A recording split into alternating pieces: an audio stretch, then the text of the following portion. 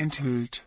HSV wollte dasjenige Bayern-Duo in dem Sommer verpflichten der Hamburger SV war in dem Sommer dem Augenschein nach daran interessiert zwei Talente des FC Bayern München zu verpflichten. Letztlich scheiterten beide Transferversuche. Von dem Hamburger Abendblatt standen Paul Wanner und Franz Kretzig auf der Wunschliste des HSV.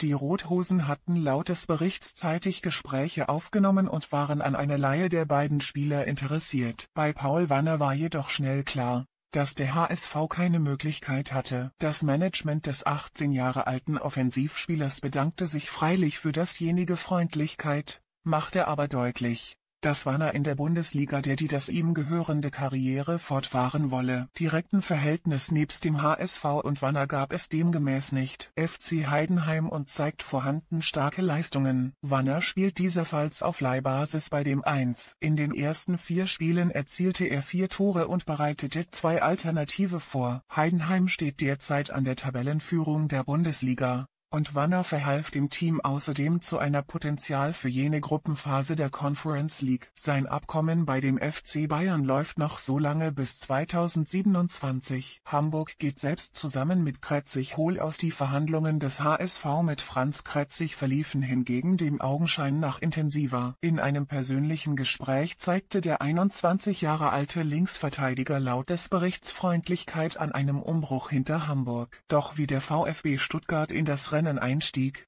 kam der HSV zwar nicht viel mehr in Frage, Kretzig wurde nachfolgend von den Bayern an den VfB Stuttgart verliehen. Dort bestritt er bislang drei Pflichtspiele, in der Tiefe dasjenige Bundesliga-Auftaktspiel gegen den SC Freiburg, beim er in der Startelf stand. Er wurde jedoch hinter von guter Qualität einer Stunde ausgewechselt. Auch Kretzig ist solange bis 2027 an den FC Bayern gebunden